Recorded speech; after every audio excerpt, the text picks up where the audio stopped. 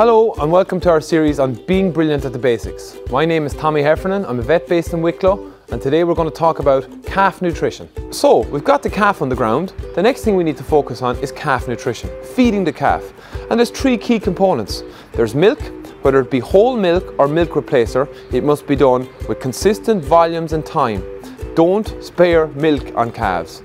Water is the next thing. It's a very important role in rumen development and should be available almost from birth. The third thing is concentrates.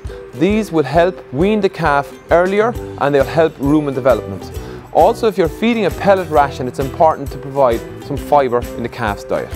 My opinion on feeding calves and my experience in feeding calves is they do better on larger volumes of milk. So I would be an advocate for 3 litres twice a day. And there is the option to feed milk replacer. One of the most important things when looking and dealing with milk replacer is looking at the constituents of the milk replacer and also following the instructions that are on the bag as carefully and consistently as you possibly can.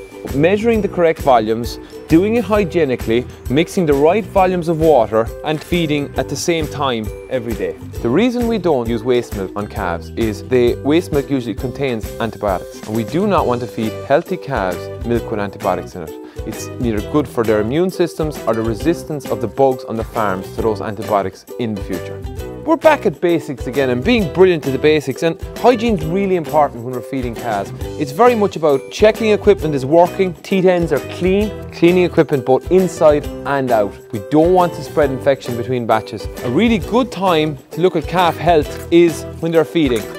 Making sure each calf is feeding correctly, sucking and taking its full feed.